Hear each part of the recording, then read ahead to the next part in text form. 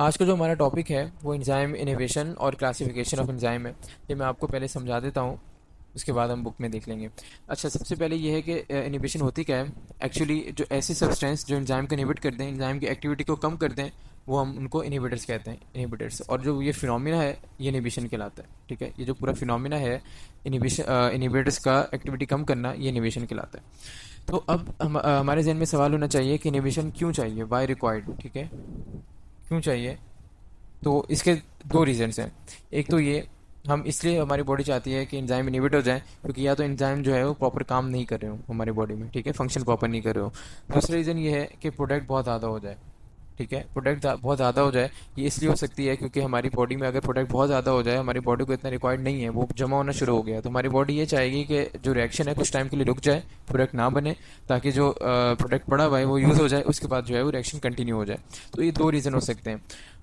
अगली बात ये ये होती कैसे ठीक है? इसके, इसकी भी दो बातें आपको जो पता होनी चाहिए। जो इनिवेटर्स हैं, जो इंजाइम की एक्टिविटी को कम करें, वो तो या या तो ये अगर इंजाइम है ठीक है? या तो इंजाइम की एक्टिव साइड पे आके बाइंड कर जाएँगे, या तो एक्टिव साइड की दूसरी तरफ़ एलेस्टेरिक साइड होती है, या तो यहाँ आके बाइंड करके इंजाइम का स्ट्रक्चर चेंज कर देंगे, या दोनों तरह से इनिवेशन हो सकती है। दूसरा तरीका क्या है? दूसरा तरीका ये है कि इंजाइम जो इनिवेटर्स हैं हमारे पास, ये जाके एक्टिवेटर से बाइंड कर जाते हैं। आपको पता होगा एक्टिवेटर वो सब्सटेंस होते हैं जो इंजाइम की एक्टिविटी को बढ़ाते हैं, ठीक है? रेट ऑफ़ रिएक्शन को बढ़ाते हैं। जब इनिवेटर एक्टिवेटर से जाके बाइंड कर गया और एक्टिवेटर इंजाइम से बाइंड नहीं कर सकेगा तो ऑटोमेटिकली जो है वो इंजाइम की एक्टिविटी जो है वो ज़्यादा नहीं बढ़ेगी और इनिवेशन हो जाएगी। तो ये दो तरीके हैं जिससे इनिवेशन हो सकती है। क्यों रिक्वायर्ड है? इसकी दो बातें और कैसे होती है इसकी दो बातें, ये आपको चार बातें पता होनी चाहिए। अच्छा उसके बाद जो है वो हमारी बुक में जो है इरिवर्सिबल इनिवेशन को नहीं डिस्कस किया हुआ। देखें दो तरह की इनिवेशन होती है। एक तो रिवर्सिबल है और एक इरिवर्सिबल है, ठीक है? इनिवेशन जो है हमारे पास इनिवेशन डिवाइड है, दो तरह में। एक रिवर्सिबल एक इरिवर्सिबल रिवर्सिबल खुद बता रहा है कि ये जो है इसका इफ़ेक्ट जो है वो ख़त्म हो सकता है और इसका इफ़ेक्ट जो है वो ख़त्म नहीं हो सकता, ये रहेगा, ठीक है? ये टेम्प्रेरी है। अब क्यों ख़त्म हो सकता है? ज़ाहिर कोई ना कोई रीज़न होगा। ये इसलिए है कि वीक बॉन्ड्स बनाते हैं हमारे इंजाइम के साथ, जो इनिबिटर्स हैं, ठीक है? अगर ये इनिबिटर का मॉलिक्यूल है और ये इंजाइम है तो ये बड़ा बहुत वीक बॉन्ड बनाएगा इंजाइम के साथ। अगर सबस्ट्रेट की कंसनट्रेशन बढ़ जाए तो इनिबिटर को साइड में करके सबस्ट्रेट आके बाइंड हो सकता है, क्योंकि वीक बॉन्ड्स है। अगर हम देखें रिवर्सिबल में तो ये अगर इनिबिटर है और ये इंजाइम है तो ये बहुत स्ट्रॉन्ग बॉन्ड बना रहा है इंजाइम के साथ। तो सबस्ट्रेट जितना भी बढ़ जाए, ये इंजाइम के साथ नहीं बाइंड कर सकता। ये तो ये परमानेंट डैमेज हो जाता है इंजाइम ठीक है? आपकी बुक में रिवर्सिबल फ़िलहाल डिस्कस नहीं है तो हम इसी पे जाएँगे रिवर्सिबल को डिस्कस करेंगे। अच्छा अब रिवर्सिबल की कुछ और टाइप्स हैं। तीन टाइप्स हैं जो आपकी बुक में डिस्कस हैं। हम वन बाय वन डिस्कस कर लेते हैं, फिर आपकी बुक में देख लेंगे वहाँ क्या बात मैंशन है। ठीक है? अच्छा देखिए, जो रिवर्सिबल इनिवेशन मैंने आपको बताया इनिवेशन दो तरह की है। रिवर्सिबल रिवर्सिबल ठीक है? रिवर्सिबल की थोड़ी सी बातें मैंने आपको बता दी, आपकी बुक में नहीं है, हम ये डिस्कस करने लगे अच्छा जो रिवर्सिबल है ये आगे डिवाइड है। कॉम्पिटेटिव में पहले नॉन कॉम्पिटेटिव में दूसरा और तीसरा अन अनकॉम्पिटेटिव इनिबिशन ठीक है? तीन तरह की इनिबिशन है।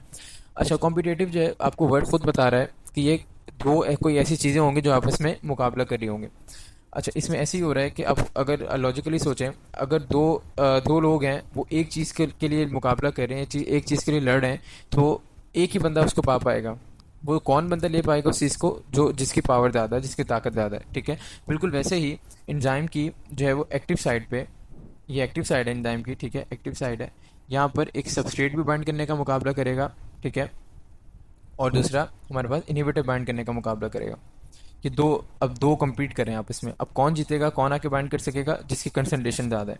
ठीक है? कौन आके बाइंड कर सकेगा, जिसकी कंसनट्रेशन ज़्यादा है। तो इससे हमें ये भी पता चला तो ये रिवर्सिबल क्यों है? हमने, मैंने आपको बताया कि रिवर्सिबल है, क्योंकि इनकी जो है वो इफ़ेक्ट को हटा, हटाया जा सकता है, क्योंकि वीक बॉन्ड्स बना रहे तो रिवर्सिबल जो इफ़ेक्ट को हटाने का एक तरीका ये भी है कि अगर मिसाल के तौर पर अगर ये इंजाइम है, ठीक है? इससे आके इन्हीवेटर बाइंड कर गया।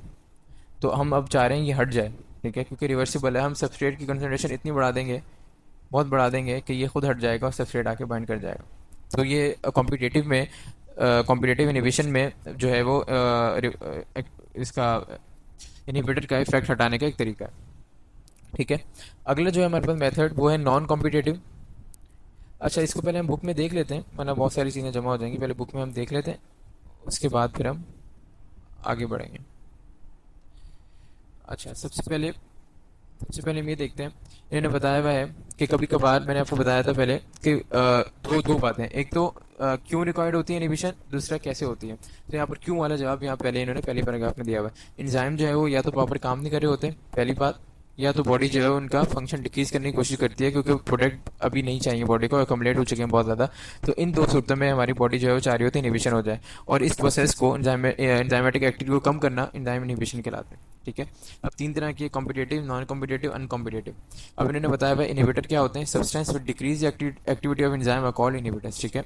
अब ये इनिवेट कैसे करते हैं? मैं आपको बता चुका हूँ। या तो डायरेक्टली बाइंड कर जाएँगे इंजाइम के साथ, या एक्टिवेटर से बाइंड कर जाएँगे उसकी उसकी एक्टिविटी को कम कर देंगे। अब पहले इन्होंने कॉम्पिटेटिव इनिवेटर डिस्कस किया हुआ। ये कॉम्पिटेटिव इनिवेटर जो है, मैं आपको दोबारा थोड़ा एक्सप्लेन कर देता हूँ। अगर ये हमारे पास इंजाइम है और इसकी एक्टिव साइड है, ठीक है? ये एक्टिव साइड की स्पेसिफिक शेप होती है, मैं आपको बता चुका हूँ। तो जो सबस्ट्रेट जो है, अगर मिसाल के तौर पर इस शेप का है तो इनिवेटर भी सेम शेप का होगा। दोनों सेम शेप के होंगे, क्योंकि एक्टिव साइड पे जो है, एक ही तरह के मॉलिक्यूल लग सकते हैं। तो एक्टिव साइड जो पहचान नहीं पाएगी किसको अटैच करना है तो दोनों ही शेप सेम है तो कोई भी अटैच हो सकता है, ठीक है? कंपीट करते हुए कोई भी अटैच हो सकता है। तो ये बात मेंशन है कि मॉलिक्यूल जो है which are very similar to substrate and bind to active site instead of original substrate ठीक है? ये एक बात है। उसके बाद जो मॉलिक्यूल है, ये ब्लॉक कर देता है एक्टिव साइट को। जैसे अगर इनिबिटर यहाँ के बाइंड कर कर गया, ये इनिबिटर है तो ये ब्लॉक कर देगा। अब जो सबस्ट्रेट है ओरिजिनल सबस्ट्रेट बाइंड नहीं कर पाएगा, ठीक है? अब इसके, इसकी एग्ज़ाम्पल इन्होंने दी हुई पेनिसिलिन पेनिसिलिन जो है वो कॉम्पिटेटिव इनिबिटर है। जो पेनिसिलिन हमारे पास एंटीबायोटिक है, ठीक है? एंटीबायोटिक है, पहली डिस्कवर्ड एंटीबायोटिक है। ये क्या करती है? ये बैक्टीरिया बैक्टीरियल सेल वॉल का इंजाइम जो होता है, मिसाल के तौर पर अगर इंजाइम है बैक्टीरियल सेल वॉल बनाने का तो इसको ब्लॉक कर देगी और बैक्टीरियल की सेल वॉल नहीं बन पाएगी। और बैक्टीरिया डिस्ट्रॉय डिस्ट्रॉय हो जाएगा। तो पेनिसिलिन जो है वो एंटीबायोटिक इसीलिए है बैक्टीरिया को डिस्ट्रॉय कर देती है, उसका मैकेनिज्म ये है, ठीक है? तो ये बात यहाँ पर ये मैंशन है पूरी। ठीक है? अब ये आगे बताया हुआ कि ये रिवर्सिबल है तो कैसे रिवर्सिबल है? ये बताया हुआ if this inhibition is reversible it can it can overcome by increasing concentration of substrate मैंने आपको बताया था, अगर सबस्ट्रेट की कंसंट्रेशन बहुत ज़्यादा बढ़ा दें, ठीक है? और इनिबिटर यहाँ से फिर हट जाएगा एक्टिव साइड से सबस्ट्रेट आगे बाइंड कर जाएगा। क्योंकि कंपटीशन हो रहा है यहाँ पर। कंपटीशन में वही वही जीतता है जिसकी पावर ज़्यादा है तो यहाँ सबस्ट्रेट की कंसनट्रेशन बहुत ज़्यादा होगी सबस्ट्रेट की पावर ज़्यादा होगी तो ये जीत जाएगा और आके बाइंड कर जाएगा। ठीक है? तो ये बात कॉम्पिटेटिव इनिबिशन में मैंशन है। अब नॉन कॉम्पिटेटिव इनिबिशन देख लेते हैं। मैं आपको पहले समझा देता हूँ। नॉन कॉम्पिटेटिव उसके बाद देख लें अच्छा नॉन कॉम्पिटेटिव इनिबिशन इसमें क्या होता है? अब नॉन कॉम्पिटेटिव खुद बता रहे हैं कि यहाँ पर कॉम्पिटिशन नहीं होगा। अब एक्टिव साइड अगर ये इंजाइम है उसकी एक्टिव साइड है तो यहाँ कोई कुछ बाइंड नहीं करेगा, यहाँ तो सबस्ट्रेट की जगह है। मगर इंजाइम की दूसरी तरफ़ एक और साइड होती है, जिसको हम एलेस्टेरिक साइड कहते हैं, ठीक है? एलेस्टेरिक साइड यहाँ आके इनिवेटर बाइंड कर जाएगा। जब इनिवेटर यहाँ के बाइंड करेगा तो इंजाइम का ओवरऑल स्ट्रक्चर जो है वो चेंज हो जाएगा, और जो एक्टिव साइड है, ये भी नैरो हो जाएगी और सबस्ट्रेट आके बाइंड नहीं कर पाएगा। तो यही कुछ मैकेनिज्म है इसका, और फीडबैक इनिबिशन इसकी एग्ज़ाम्पल है। हम अभी पढ़ रहे हैं फीडबैक इनिबिशन क्या होता है आगे, इसी लेक्चर में है। उसकी एग्ज़ाम्पल हम उसकी डिटेल पढ़ लेते हैं। अच्छा थर्ड जो अनकॉम्पिटेटिव अनकॉम्पिटेटिव क्या होता है? इंजाइम सबस्ट्रेट कॉम्प्लेक्स क्या होता है, हम पढ़ चुके हैं। अगर ये इंजाइम है, ठीक है, उसके सबस्ट्रेट बाइंड कर चुका है तो इन दोनों को मिला के हम इंजाइम सबस्ट्रेट कॉम्प्लेक्स कहते हैं, ठीक है? जो ये जो इस टाइप के इनिबिशन जो है, इसमें इनिबिटर जो है, वो आके इंजाइम सबस्ट्रेट कॉम्प्लेक्स से बाइंड कर जाता है। ठीक है? और ये ऐसी रिएक्शन में होता है जिसमें या तो दो दो या दो से ज़्यादा सबस्ट्रेट्स या दो या दो से ज़्यादा प्रोडक्ट इन्वॉल्व हो। वो वो इसीलिए होता है ये इनिबिशन इसीलिए होती है कि अगर दो या दो से ज़्यादा सबस्ट्रेट या दो से ज़्यादा प्रोडक्ट इन्वॉल्व होंगे तो ज़ाहिर है बहुत रिएक्शन फास्ट हो रहा होगा, तेज़ हो रहा होगा, बहुत ज़्यादा प्रोडक्ट बन रहे होंगे। तो बहुत ज़्यादा अकोमलेशन ऑफ़ प्रोडक्ट को रोकने के लिए ये इनिबिशन होती है। ठीक है, हमने ये डिस्कस कर लिया, हम आपकी बुक में देख लेते हैं क्या बात है। अच्छा। कॉम्पिटेटिव हम कर चुके हैं। हम जो है वो नॉन कॉम्पिटेटिव को देख लेते हैं। Non competitive inhibition is a type of inhibition when a molecule bind to enzyme at any other site active site ठीक है? Any other site except active site active site के अलावा उस साइड को मेलेस्टेरिक साइड कहते हैं, ठीक है? उसके बाद जो है वो this interaction enzyme molecule change it shape ठीक है? जब कोई मॉलिक्यूल एलेस्टेरिक साइड है, अगर ये यहाँ के बाइंड करेगा तो एक्टिव साइड की शेप चेंज हो जाएगी।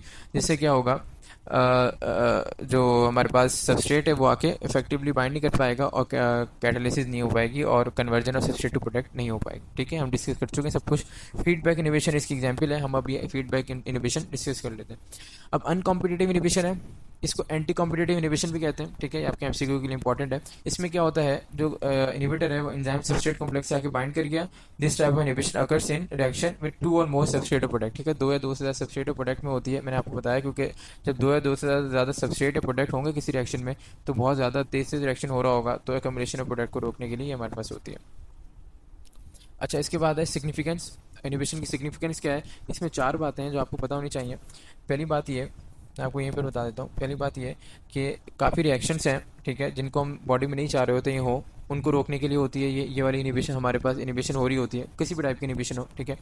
दूसरी बात ये कि हमारे पास जैसे मैंने आपको पेनिसिलिन का बताया कि पेनिसिलिन जो है वो हमारा, एक ड्रग है, वो कैसे हमारे पास इन्वेंट हुई? वो इनिबिटर्स के ज़रिए इन्वेंट हुई, क्योंकि पेनिसिलिन क्या करी है? अगर ये बैक्टीरियल सेल वॉल का एंजाइम है तो वो पेनिसिलिन जो है वो इसको ब्लॉक करी है और इसको काम नहीं करने दे रही इन एंजाइम को प्रॉपरली तो जो बैक्टीरियल सेल वॉल नहीं बन पा रही और बैक्टीरिया जो है वो हमें नुकसान नुकसान नहीं पहुँचा पा रहा। तो ये, इससे हम क्या पता लगा सकते हैं कि ये ड्रग ड्रग डिस्कवरी में भी हमारे काम आ रही है। ठीक है निबिशन तो अब तीसरी बात क्या है? तीसरी बात ये कि मेटाबॉलिक पाथवेज मेटाबॉलिक पाथवेज में भी ये इनिबिशन बहुत काम आती है। मेटाबॉलिक पाथवे क्या होते हैं? सीरीज़ ऑफ़ रिएक्शन होते हैं। जैसे अगर ये एक ये रिएक्शन हुआ, इसका प्रोडक्ट बना, अगला रिएक्शन होगा, उसका प्रोडक्ट जो अगले रिएक्शन में यूज़ होगा, फिर अगला रिएक्शन होगा, फिर अगला रिएक्शन होगा तो एक सीरीज़ ऑफ़ रिएक्शन हो रहे होते हैं हमारी बॉडी में। वो मेटाबॉलिक पाथवे कहते हैं। तो ये मेटाबॉलिक पाथवे में भी इनिबिशन काम आती है। जो चौथा पॉइंट है हमारे पास, चौथा और आखिरी पॉइंट वो ये है कि हमारे पास डिज़ीज़ के ट्रीटमेंट के लिए कोई भी डिज़ीज़ हों, जैसे हमारे पास कीमोथेरेपी है कीमोथेरेपी में भी हम कीमोथेरेपी में जो सब्सटेंस यूज़ होते हैं, वो भी इनिबिटर्स होते हैं, ताकि सेल डिवीज़न रुक सके। तो कोई भी डिज़ीज़ ट्रीटमेंट के लिए हम यूज़ कर रहे होते हैं। अब देख लेते हैं क्या बातें। Control the mechanism of biological system ठीक है मैंने आपको बताया कि काफ़ी रिएक्शन में हमारी बॉडी में काफ़ी रिएक्शन को uh, रोकने में काम आता है ये इनिबिशन उसके बाद अगला बताया ड्रग डिस्कवरी मैंने पेनिसिलिन का आपको आपको समझा दिया। मेटाबॉलिक पाथवे में यूज़ होता है मैं आपको समझा चुका हूँ। सीरीज़ ऑफ़ रिएक्शन होते हैं उनको मेटाबॉलिक पाथवे कहते हैं ठीक है। लास्ट जो है वो enzyme inhibitors are use to screen various level of disease ठीक है। डिज़ीज़ के uh, हमें डिज़ीज़ में स्क्रीन करने में यूज़ होता है जैसे कीमोथेरेपी में भी यूज़ होता है। अच्छा अगला है फीडबैक इनिबिशन फीडबैक इनिबिशन क्या है? मैं आपको समझा देता हूँ पहले फीडबैक इनिबिशन क्या है, फिर हम देख लेंगे।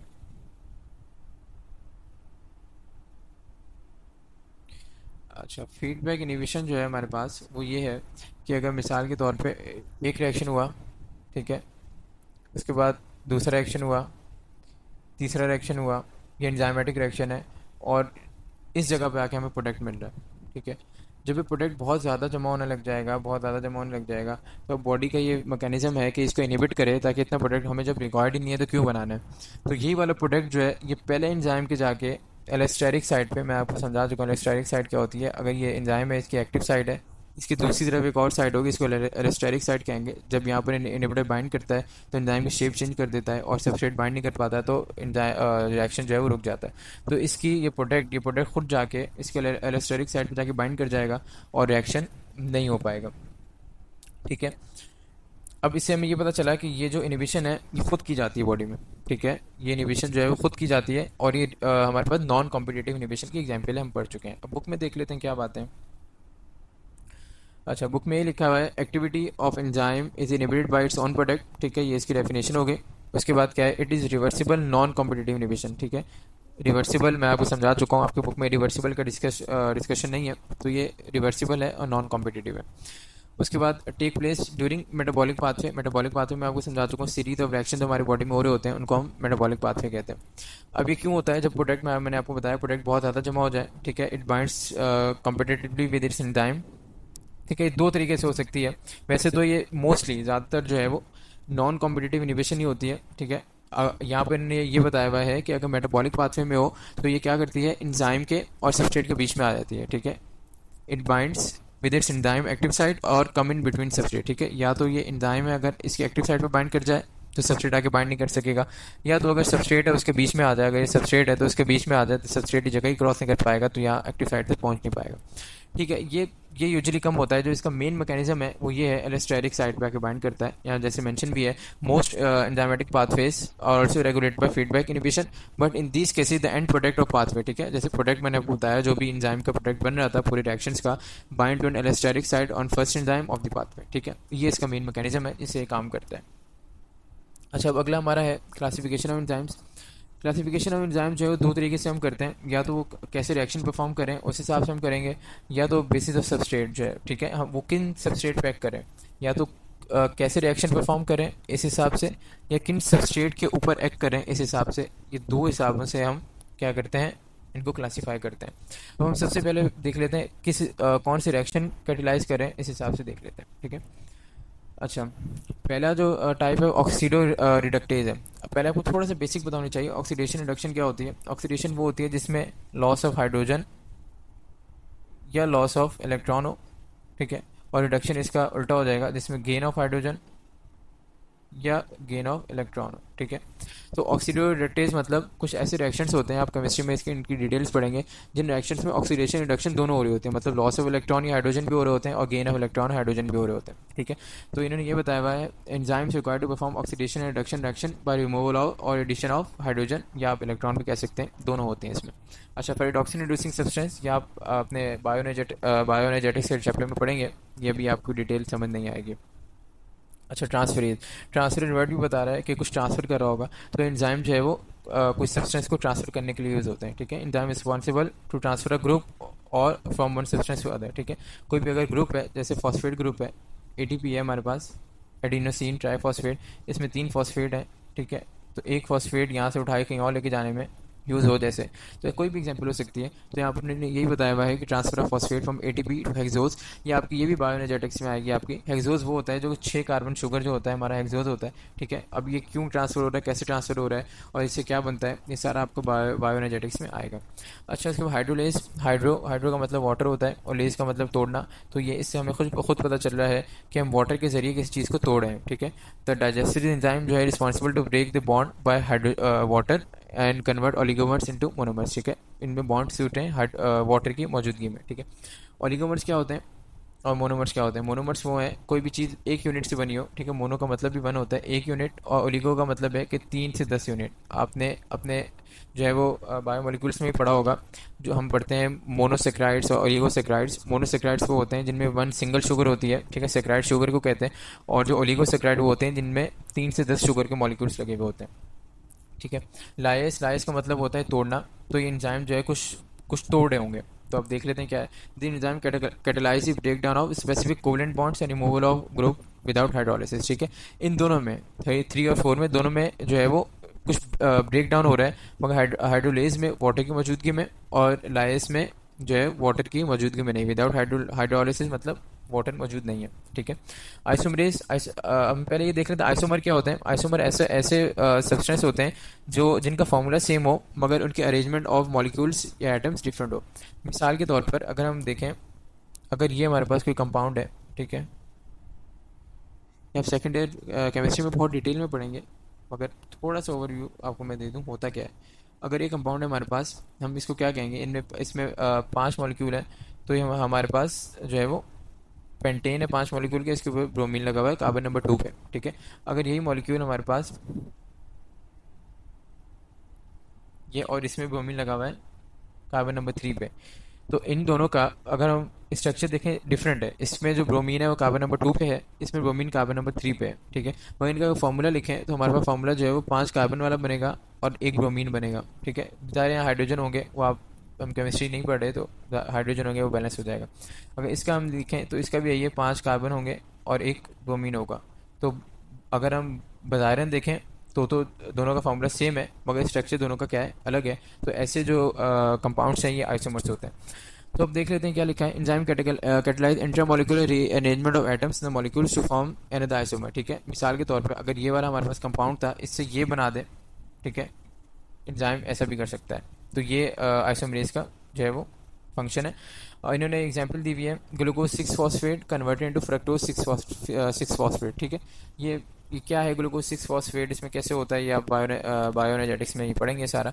मगर आइसोमर का थोड़ा सा पता होना चाहिए और ये कैसे काम करे अच्छा अब उसके बाद जो हमारा है छठा, वो लाइगेज है। लाइगेज क्या होता है हमारे पास? कोई भी इंजाइम जो है कैटेलाइज करे कंडेंसेशन रिएक्शन कंडेंसेशन क्या होता है? जैसे अगर ये दो मॉलिक्यूल हैं, ठीक है? इनको मिल मिल के दोनों को बॉन्ड बनाना है तो दोनों कैसे मिलेंगे? इसमें से वाटर निकलेगा, ठीक है? वाटर निकलेगा और ये बॉन्ड बन जाएगा आपस में, ठीक है? इन दोनों में से वाटर ऐसे निकलेगा और ये बॉन्ड बन जाएगा। तो कोई भी ऐसे रिएक्शन जिन, जिनमें से वाटर का जो है वो एलिमिनेट हो वाटर निकले, वो कंडेंसेशन रिएक्शन से होते हैं, ठीक है? कंडेंस हो रहे हैं। हमें आ, हम इसे भी सोच सकते हैं कोई चीज़ कंडेंस हो रही है छोटी हो रही है तो उससे कुछ निकलेगा तो क्या निकल रहा है? वाटर निकल रहा है और कंडेंस होकर आपस में मिल रहा है ठीक है? ऐसे भी आप इसको याद रख सकते हैं। अच्छा अब रिएक्शन की एग्जांपल दी हुई है D N A R N A polymerase ठीक है? ये इंजाइम है ये भी आपके आगे जेनेटिक्स वगैरह में आएँगे इंजाइम्स अच्छा क्लासिफिकेशन जो है उस सबस्ट्रेट के बेस पे कैसे होगी? कैसे मतलब कि किन सबस्ट्रेट पे कर रहा है, ठीक है? किन सबस्ट्रेट पे? जैसे इंजाइम है इससे सबस्ट्रेट आके बाइंड करता है तो किन, कौन से सबस्ट्रेट जो है स्पेसिफिक इंजाइम पे आके बाइंड करेंगे? तो जो प्रोटीज है, जहाँ एज आता है एज का मतलब इंजाइम होता है, आपको याद रखना है। ज़्यादातर मेजोरिटी केसेज में एज जहाँ आया, वो इंजाइम ही होता है, ठीक है? तो प्रोटीज है तो प्रोटीन का इंजाइम होगा, ठीक है? तो ये प्रोटीन पैक कर रहा है। इसकी एग्जांपल ट्रिप्सिन पेप्सिन ये एग्ज़ाम्पल दी हुई है, ठीक है? इंजाइम जो हैं, इनकी डिटेल के डाइजेस्टिव कौन है, ठीक है, ये सारे दायरे आप जो डाइजेशन जब पढ़ेंगे, वो चैप्टर वो आएगा। ट्रिप्सिन पेप्सिन ये दोनों प्रोटीन को डाइजेस्ट करते हैं, ठीक है।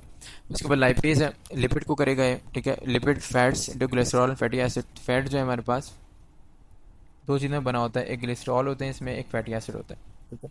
ये दो चीज़ें बना होता है। जब ये टूटेगा तो ज़ाहिर है इन दो में टूटेगा, और जब ये बनेगा तो ज़ाहिर है दो मिलेंगे, तभी ये बनेगा, ठीक है? तो जब लाइपेज तोड़ेगा इनको तो इन दो में तोड़ेगा ग्लाइसरॉल और फैटी एसिड उसके बाद ग्लाइकोसाइडेज ग्लाइकोसाइडेज का मतलब है कि ग्लूकोज से रिलेटेड सारी चीज़ों को करेगा कार्बोहाइड्रेट्स को करें, ठीक है? कार्बोहाइड्रेट ग्लूकोज जब मिलते हैं, तभी कार्बोहाइड्रेट बनता है।